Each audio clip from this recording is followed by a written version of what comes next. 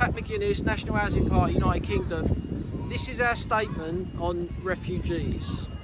Um, just to make it clear that our policy is to completely stop accepting refugees for citizenship and housing.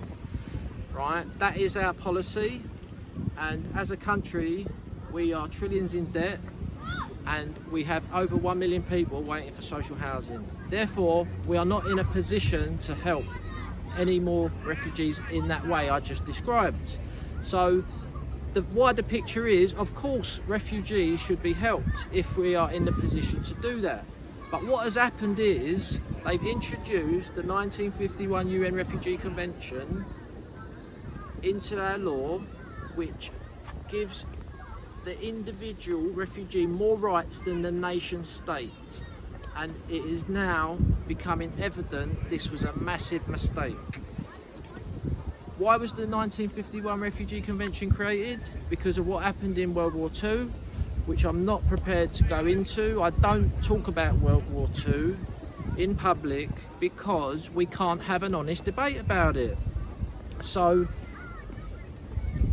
the reason it was created leads back to World War II and Dover has a direct link to World War II and in order to stop people turning up on our shores um, and having the right to get all these things citizenship housing employment is all in the United Nations Refugee Convention. So we campaign to leave this convention.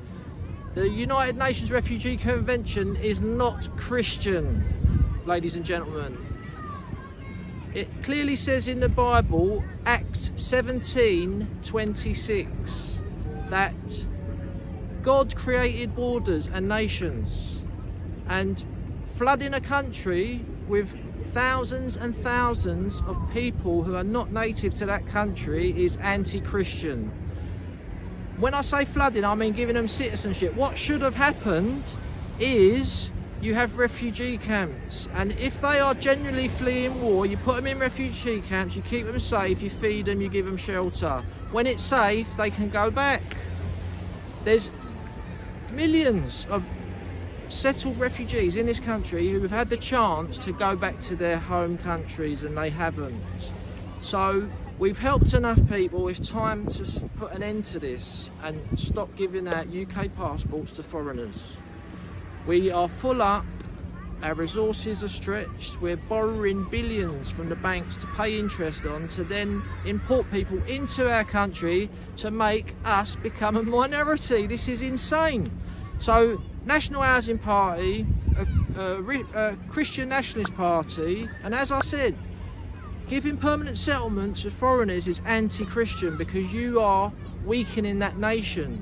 We believe in nations all over the world. We want Nigeria to stay Nigerian. We want Bangladesh to stay Bangladeshi. We want Thailand to stay, stay for the Thai people.